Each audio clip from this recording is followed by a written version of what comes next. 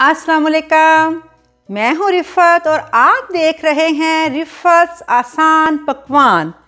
आप सब हैं मेरे मेहमान। कैसे हैं आप सब? उम्मीद करती हूँ कि सब खैर आफियत से होंगे। ईद की तैयारियों में मसरूफ़ होंगे। ईद पर रवायती मीठे तो हर घर में बनते हैं, जो ज़्यादातर मेरी एज के या मुझसे बड़े जो हमारे घर में होते हैं, उनको पसंद, बहुत पसंद होते हैं। लेकिन बच्चे खामोश रहते हैं, कुछ कहते नहीं और फिर निकल जाते हैं बाहर किसी कैफ़े पे के कोई चॉकलेट का, कोई डिज़र्ट खाने के लिए, कोई न्यूटेला का डिज़र्ट खाने के लिए। लेकिन इस ईद पर चूँकि लॉकडाउन है तो बच्चों की पसंद का भी ख्याल रखना है। इसीलिए जो मैं रेसिपी आपके साथ शेयर करने जा रही हूँ, ये न्यूटेला ट्राइफल है, जो बड़ों बच्चों सबको बेहद पसंद है। और मज़े की बात यह है कि ये बहुत कम सिर्फ़ पाँच इसके जो है इंग्रेडिएंट्स हैं जिसके साथ ये तैयार होता है, बहुत क्विक और मज़ेदार रेसिपी चले जी शुरू करते हैं। इसके मेरे पास दो स्टेप होंगे। पहले मैंने इसके लिए ब्राउनीज तैयार करनी है, फिर इसका मूज तैयार करना है। तो पहले हम ब्राउनीज का जो बैटर है, वो तैयार करते हैं, उसको ओवन में डालेंगे, फिर हम दूसरे स्टेप पे जाएँगे। चलिए शुरू करते हैं। बिस्मिल्लाहिर्रहमानिर्रहीम।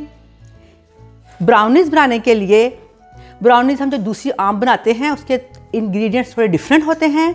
ये न्यूट्रोला ब्राउनीज़ हैं। इस डिज़र्ट के लिए, इसमें जो चीज़ें जाएँगी, उसमें दो अंडे, आधा कप मैदा और ये न्यूटेला का छोटा जार जो 375 ग्राम का होता है, ये मैं एक कप से थोड़ा सा ज़्यादा होता है। तो मैंने वो जार में से इस मयरिंग कप में डाल लिया है। ये मेरे पास नटेला है। लेकिन सबसे पहले मैं क्या करूँगी? अंडों को मैंने तोड़ के प्याली में डाला हुआ है। इनको मैं डालकर हल्का सा बीट करूँगी।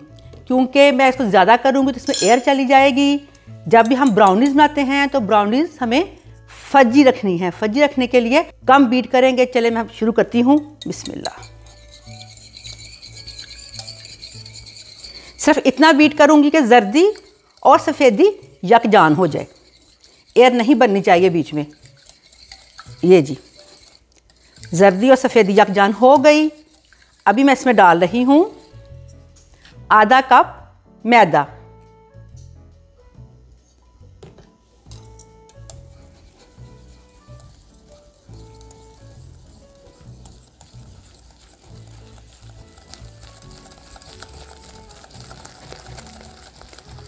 साथ ही मैं इसमें डाल रही हूँ न्यूटेला स्प्रेड जो कि छोटा जार है 375 ग्राम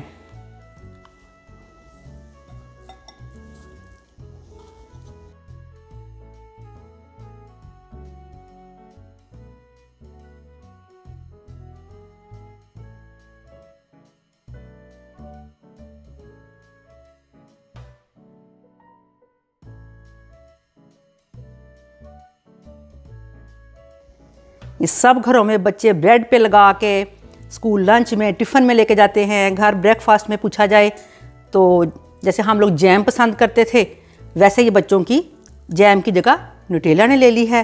तो क्यों ना फिर बच्चों की पसंद का जो है वो डिज़र्ट बनाया जाए न्यूटेला के साथ। अब इसको मैं थोड़ी जान लगाते हुए मिक्स करूँगी।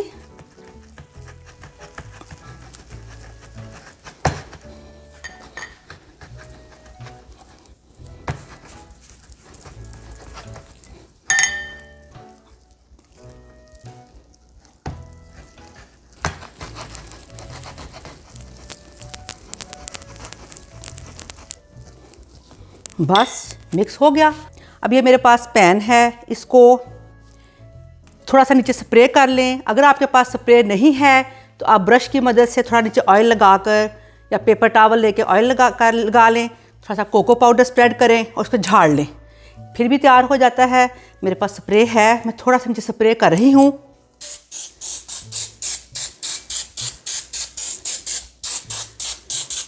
लेकिन साथ ही मैंने वैक्स पेपर या बटर पेपर मैं इसके साइज़ का काट के रखा हुआ है वो मैं इसके अंदर लगा रही हूँ।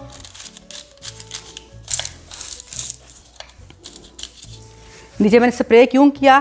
ताकि ये बटर पेपर या वैक्स पेपर अच्छा सा चिपक जाता है। जब हम ब्राउनीज इसमें डालते हैं तो ये इधर उधर मूव नहीं करता। और जब हमें डिश आउट करेंगे, तब भी आरामी आराम से निकल जाएगा। चलें जी, अब इसको मैं बिस्मिल्लाह इसमें डाल रही हूँ।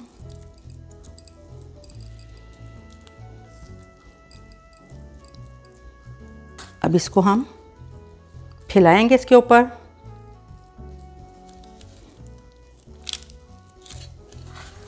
ये हमारी पतली ब्राउनीज होती हैं, क्योंकि इसको हमने मूज़ के साथ अपनी डिज़र्ट में इस्तेमाल करना है।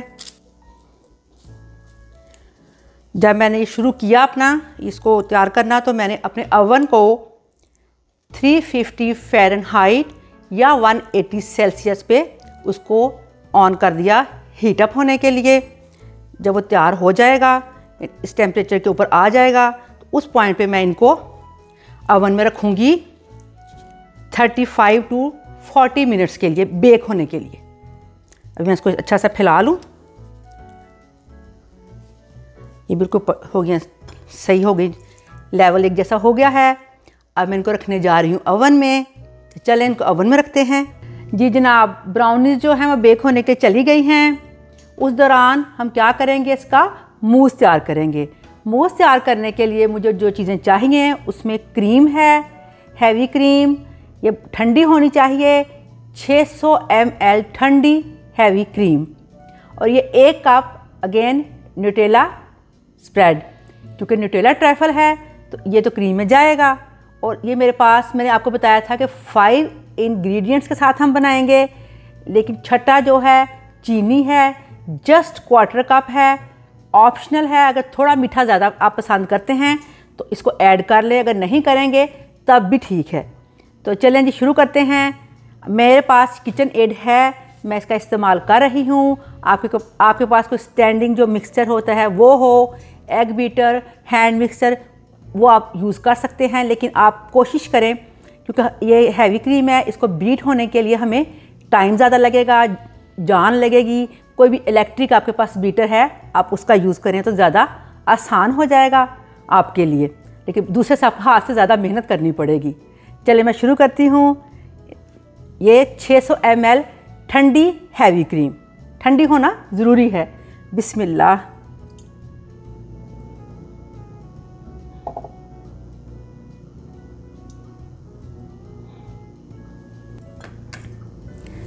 अब पहले मैं इस क्रीम को थोड़ा सा बीट करूँगी, फिर मैं इसमें न्यूटेला ऐड करूँगी। बहुत ज़्यादा बीट नहीं करना वरना बटर ऊपर आ जाएगा, लेकिन किस पॉइंट पर न्यूटेला ऐड करना है? आप देख सकते हैं। चलें, शुरू करते हैं। बिस्मिल्लाहिर्रहमानिर्रहीम। मैं आपके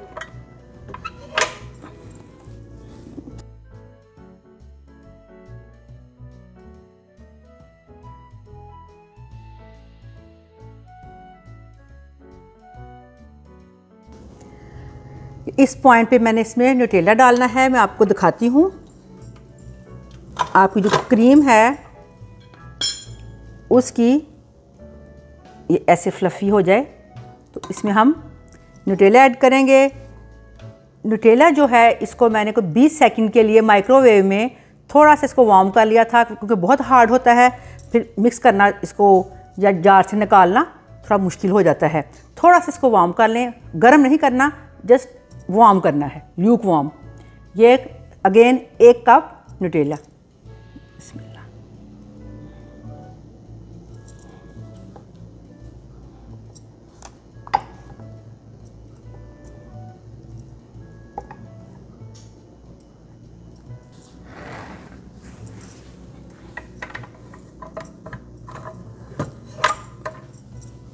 चलिए अब दोबारा इसको बीट करते हैं। बिस्मिल्लाह।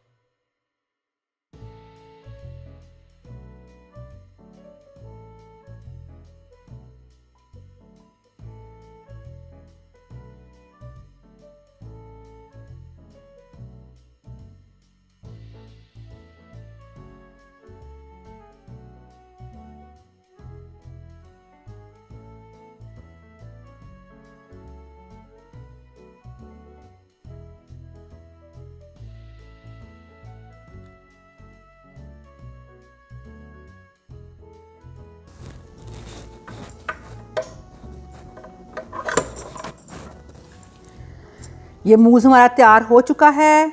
इसको हम रखेंगे। इसको मैं रखूँगी फ्रिज में ठंडा करने के लिए। जब तक कि मेरी जो हैं वो ब्राउनीज तैयार हो रही हैं ब्राउनीज तैयार करने के बाद थोड़ा सा मैं ठंडा करूँगी। फिर हम इसको असेंबल करेंगे। मैं आपको दिखा देती हूँ। ये देखिए। ये टेक्सचर है इसका। फ्लफ़ी सब चीज़ें बिल्कुल यकजान हो गई हैं। ये बिल्कुल तैयार हो गया है। मैं इसको अब काटती हूँ। हम इसका जो है ये बाहर निकालते हैं। ऐसे साइडें इसकी सारी ऐसे मैं वाइप करके आपको दिखा देती हूँ। देखें, ये बेहतरीन तैयार हो गया है।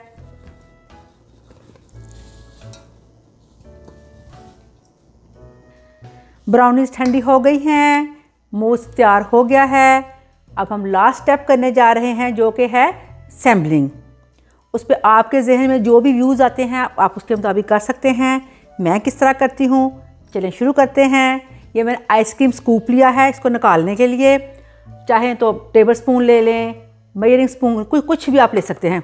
छोटा कप मयरिंग ले लें। तो मैं ट्राई करती हूँ क्योंकि मैं देख, इसके साथ जो है अच्छे से वाइप हो जाता है। चलें, सबसे पहले हमने क्या करना है? ब्राउनीज़ जो हैं, उनका उनके बॉटम में मैं ब्राउनीज़ डालूँगी। फिर मूज़ डालूँगी, फिर ब्राउनीज दो तीन लेयर्स हम करेंगे, फिर टॉप पे इसको सेट करेंगे।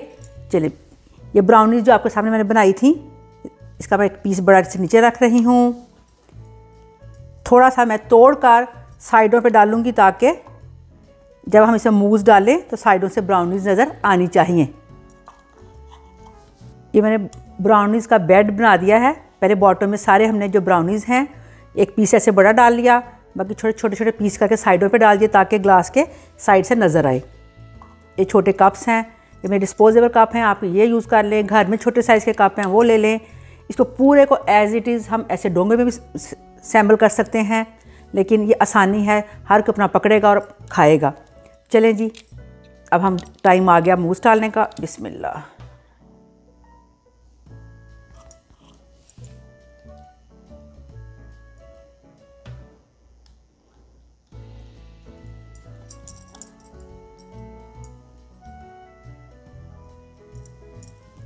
डेढ़ डेढ़ स्कूप डलेगा।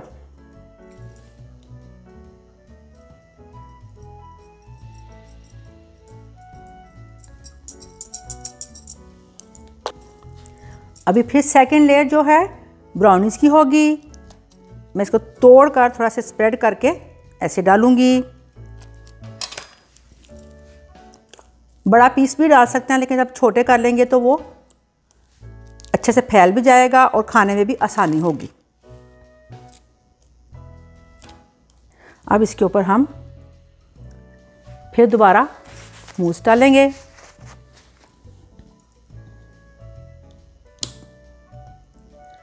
बिस्मिल्लाह।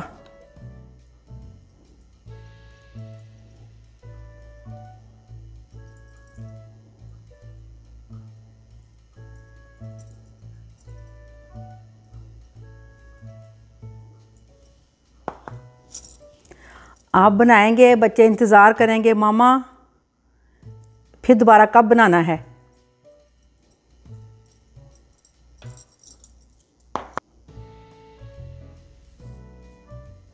जिसमें आपको लगे थोड़ा कम है, उसमें थोड़ा सा और डाल लें इसको एक ऐसे लेवल कर लें।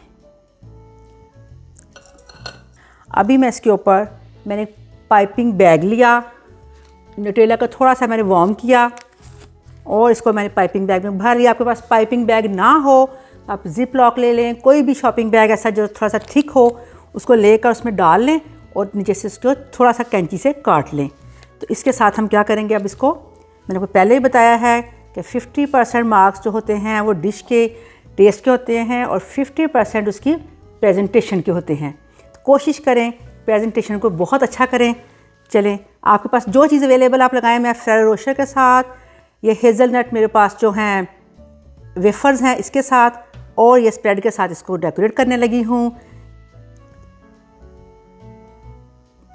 जिग जैग बना रही हूँ। अब इसके बाद मैं ये वेफ़र लूँगी। वेफ़र को आप ऐसे साइड पे ऐसे लगा दें।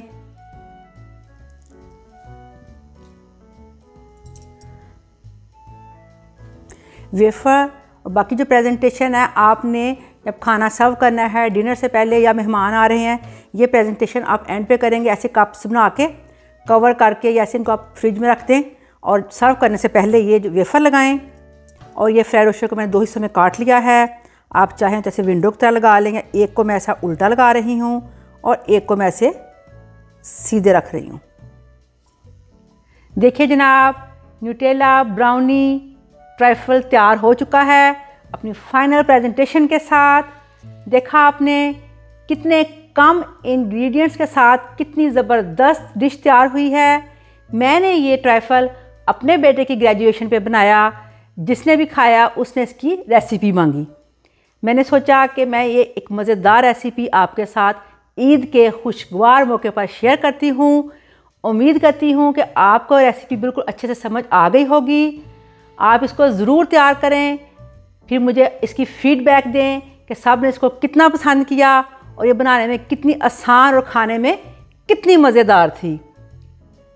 अगर आपको मेरी रेसिपी पसंद आई है तो मेरी वीडियो को लाइक करें चैनल को सब्सक्राइब करें।